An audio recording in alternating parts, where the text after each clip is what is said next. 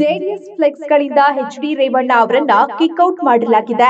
ಹೌದು, ಕುಮಾರಸ್ವಾಮಿ ಕೇಂದ್ರ ಸಚಿವರಾದ ಬಳಿಕ ಮಂಡ್ಯ ನಗರ ಸೇರಿದಂತೆ ಜಿಲ್ಲೆಯ ಹಲವೆಡೆ ಜೆಡಿಎಸ್ನಿಂದ ಬೃಹತ್ ಫ್ಲೆಕ್ಸ್ ಗಳನ್ನ ಅಳವಡಿಸಲಾಗಿದೆ.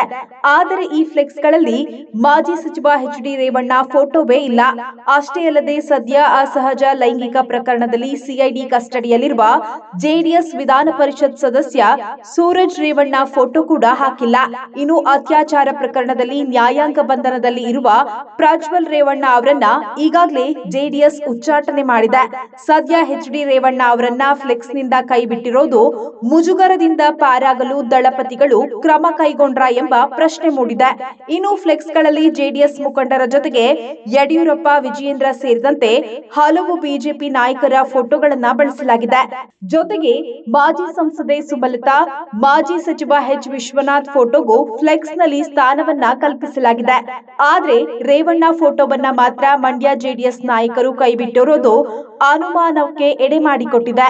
ಪಕ್ಷದಿಂದ ಉಚ್ಚಾಟನೆ ಮಾಡದಿದ್ರು ನಾಯಕರು ಅಂತರ ಕಾಯ್ದುಕೊಂಡಿರುವುದನ್ನ ಈ ಫೋಟೋದಿಂದ ನಾವು ಗಮನಿಸಬಹುದಾಗಿದೆ.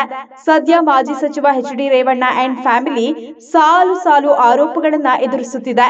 ಕಿಡ್ನಾಪ್ ಕೇಸ್ನಲ್ಲಿ ರೇವಣ್ಣ ಜೈಲಿಗೆ ಹೋಗಿ ಜಾಮೀನಿನ ಮೇಲೆ ಹೊರಬಂದಿದ್ರೆ ಪತ್ನಿ ಭವಾನಿ ರೇವಣ್ಣ ಜಾಮೀನು ಪಡೆದಿದ್ದಾರೆ. ಇನ್ನೊಂದ್ ಕಡೆ ಅತ್ಯಾಚಾರ ಪ್ರಕರಣದಲ್ಲಿ ಪ್ರಜ್ವಲ್ ರೇವಣ್ಣ ಜೈಲು ಸೇರಿದ್ದಾರೆ. ಮತ್ತೊಂದೆಡೆ ಅಸಹಜ ಲೈಂಗಿಕ ದೌರ್ಜನ್ಯ ಪ್ರಕರಣದಲ್ಲಿ ಸೂರಜ್ ರೇವಣ್ಣ ಸಿಐಡಿ ಕಸ್ಟಡಿಯಲ್ಲಿದ್ದಾರೆ. ಇದರಿಂದ ದೇವೇಗೌಡರ ಕುಟುಂಬದ ಜೊತೆಗೆ ಪಕ್ಷಕ್ಕೂ ಡ್ಯಾಮೇಜ್ ಆಗಿದೆ. ಈ ಡ್ಯಾಮೇಜ್ ಕಂಟ್ರೋಲ್ಗೆ ರೇವಣ್ಣರಿಂದ ದಳಪತಿಗಳು ಅಂತರವನ್ನ ಕಾಯ್ದುಕೊಂಡಿದ್ದಾರೆ. ಈ ಹಿಂದೆ ಪಕ್ಷದ ಪ್ರತಿ ಫ್ಲೆಕ್ಸ್ ನಲ್ಲೂ ರೇವಣ್ಣ ಫೋಟೋ ಕಡ್ಡಾಯವಾಗಿ ಇರುತ್ತಿತ್ತು. ರೇವಣ್ಣ ಜೊತೆಗೆ ಪ್ರಜ್ವಲ್ ಸೂರಜ್ ಫೋಟೋ ಕೂಡ ಬಳಸಲಾಗುತ್ತಿತ್ತು. ಒಟ್ನಲ್ಲಿ ಮಂಡ್ಯದಲ್ಲಿ ತಮ್ಮದೇ ಪ್ರಭಾವವನ್ನ ಹೊಂದಿದ್ದ ರೇವಣ್ಣ ಕುಟುಂಬವನ್ನ ಇದೀಗ ದಳಪತಿಗಳು ದೂರ ಇಟ್ಟಿರೋದು ಫ್ಲೆಕ್ಸ್ ವಿಚಾರದಲ್ಲಿ ಎದ್ದು ಕಾಣ್ತಿದೆ. ಮತ್ತಷ್ಟು ಇಂಟ್ರೆಸ್ಟಿಂಗ್ ಅಪ್ಡೇಟ್ಸ್ಗಳಿಗಾಗಿ ನೋಡಿ ಕರ್ನಾಟಕ ಟಿವಿ ಇದು ಕನ್ನಡಿಗರ ಧ್ವನಿ.